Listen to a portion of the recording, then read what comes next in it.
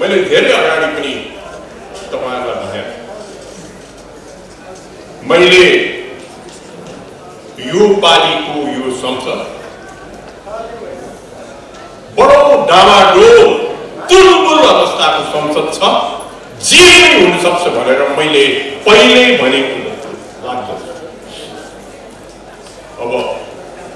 त्यो असिलो परिस्थिति हाम्रो सामने आएको छ ढलमल ढलमल सामना गर्नु भनेको असिलो स्थितिलाई पार गर्नु सक्नु सक्नु भनेको त्यो मुस्किललाई सामना गर्ने मान्छे साँच्चीकै मान्छे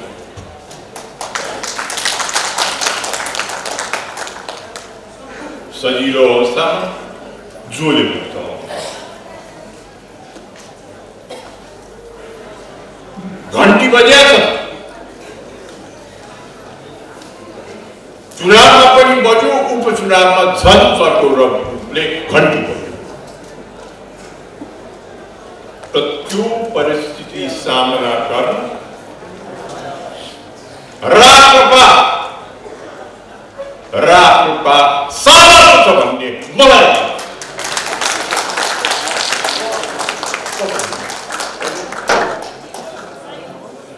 त्यसैले साथीहरू अहिलेको अवस्थामा हाम्रो मनमा कुनै थुकछुक नहोस् हो अप्ठ्यारो परिस्थिति अत्यन्त अप्ठ्यारो परिस्थिति छ त्यस्तै अप्ठ्यारो परिस्थिति सामना गर्न यो पार्टी यसको नेतृत्व त्यही सामना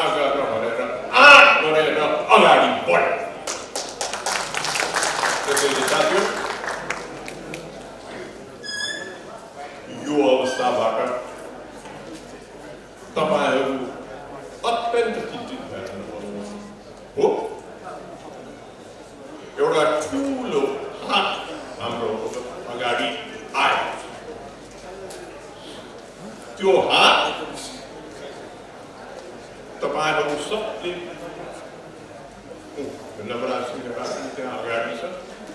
तपाईँहरू सबले निर्माण गरेको यो पार्टी